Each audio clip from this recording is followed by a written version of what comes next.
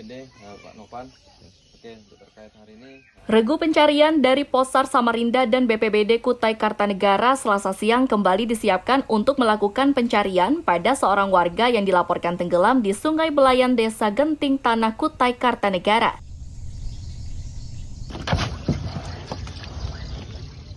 Pada pencarian hari kedua, tim dibagi menjadi lima kelompok, mulai tim pencari dan penyisir hingga tim pantau.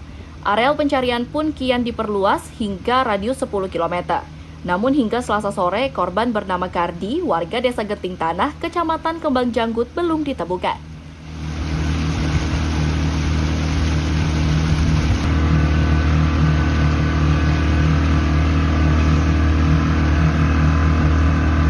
uh, ada beberapa tim yang kita bagi, ada lima tim dari tim Basarnas menggunakan perahu karet, tim 2 menggunakan polietilin bootnya BBD, tim 3 dari perahu warga, 4 tim pantau dari Basarnas BBD, dan yang tim 5 tim pantau dari warga uh, Genting Tanah. Kita lakukan beberapa titik, kita pembagian sektorisasi agar uh, maksimal mungkin kita lakukan. Dari penyisiran pun kita hingga uh, radius 10 kilo sampai ke desa Tuana Tuha.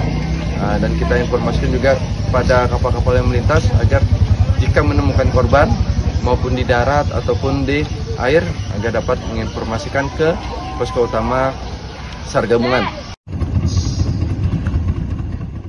Gagal di hari kedua tidak membuat tim SAR gabungan ini menghentikan pencarian. Korban yang diduga tenggelam ini merupakan warga desa yang biasa mencari bambu dengan menggunakan perahu. Amir Hamzah melaporkan dari Kutai Kartanegara.